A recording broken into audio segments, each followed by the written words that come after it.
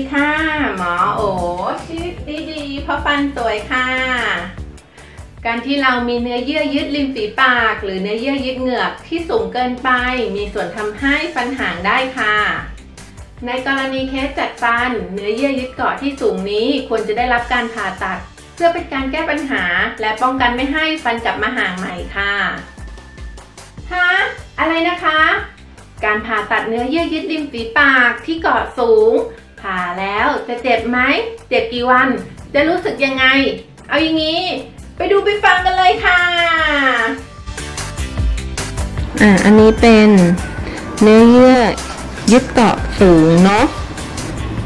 จะเห็นว่าทุกครั้งที่ขยับ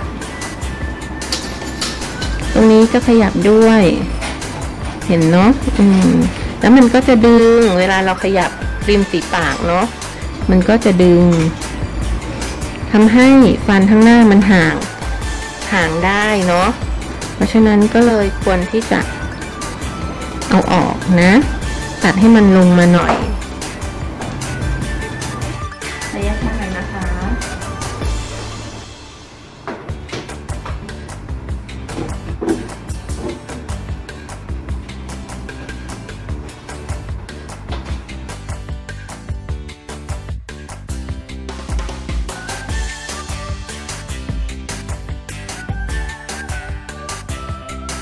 ระยะชาเจ็บไหม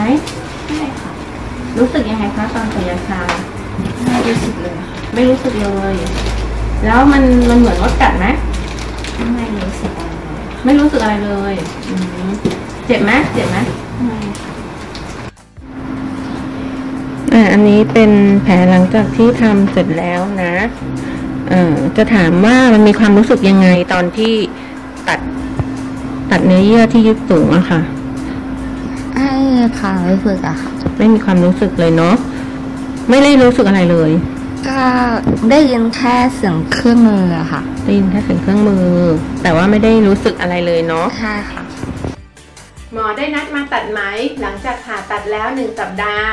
แผลเป็นยังไงบ้างไปดูกันเลยค่ะ อันนี้คือหลังจากที่ทำไปแล้วหนึ่งสัปดาห์เนาะวันนี้มาตัดใหม่นะคะแผลก็จะเป็นประมาณนี้ เจ็บไหมคะ ไม่ค่ะ หลังจากทำไปแล้วเจ็บกี่วันคะ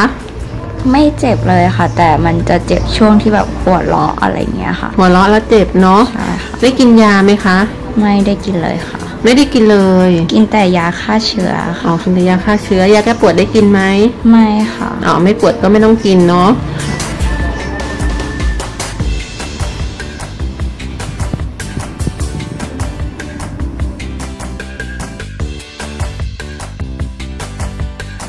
จากไหนเจ็บไหม เก่งมากเลย หลังจากผ่าตัดหนึ่งเดือน แผลเป็นยังไงบ้าง ไปดูพร้อมกันเลยค่ะ อันนี้เป็นแผลหนึ่งเดือนนะคะ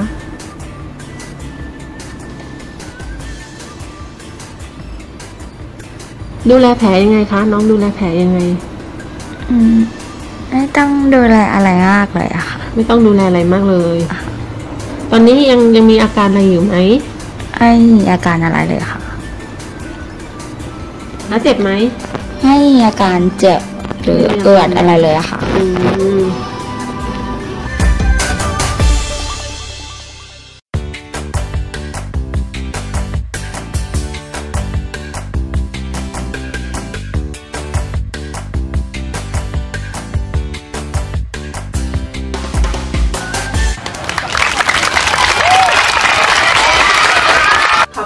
สัมภาษณ์นะคะ คิดว่าคงมีประโยชน์กับอีกหลาย ๆ คนค่ะ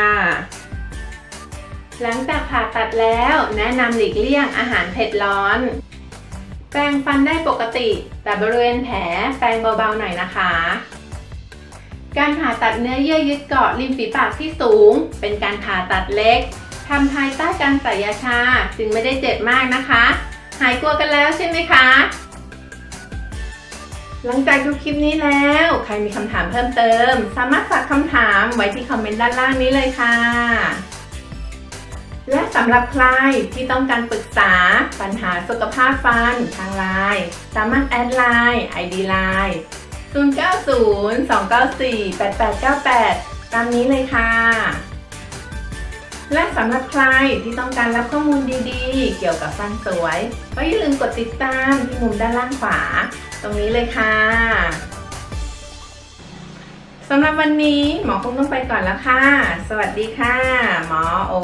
ชีวิตดีๆ เพราะฟันสวยค่ะ